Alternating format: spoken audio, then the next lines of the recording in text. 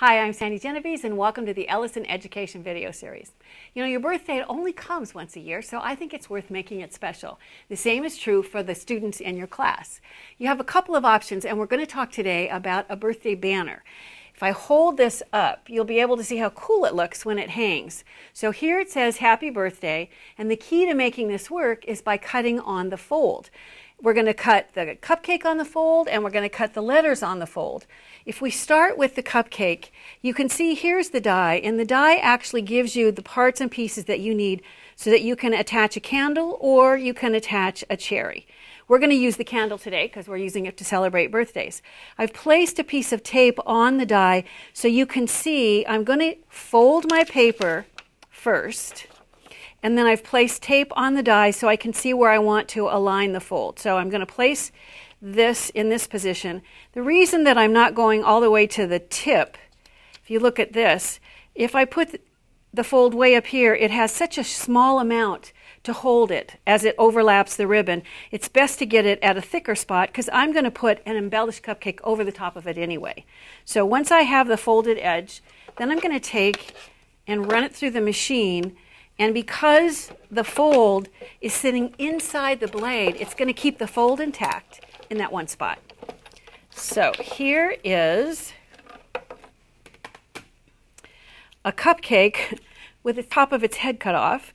And at this point, what I'm going to do is go ahead and embellish the shape by cutting out the different colors, adding all the different designs, and then I'm going to put adhesive on the folded one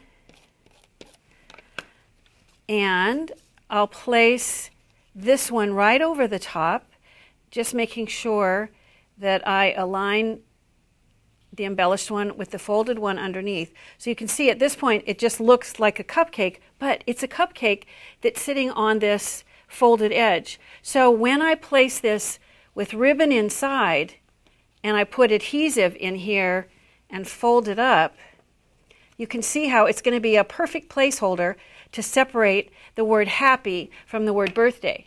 Now you're going to do the same thing with the alphabet. Here is, oh my gosh, this die is so old. This die is like 40 years old. It was here before I was here, and I was here in the early 80s. But let me show you what you're going to do. Same thing. You fold the paper before, and you place the folded edge so that it is just inside the top blade of the design, in this case of the letter H. You run it through the machine, you cut it out, and you end up with the fold at the top of the design, which means, you know, not only would it stand up, but let me go ahead and put adhesive on this one so you can see how you're going to attach it. Since H is the first letter, I'm going to start at the end of my ribbon and I'm going to place the ribbon just under the fold and press it down and then lay this right over the top and press and see how it's going to it's going to hang you would continue with the rest of the alphabet and then when you get to the end of the word happy you'll put your cupcake then you'll continue with the word birthday and bada bing you have a really cool birthday banner you know what? A birthday banner, it goes together quickly if you just fold the paper before you cut.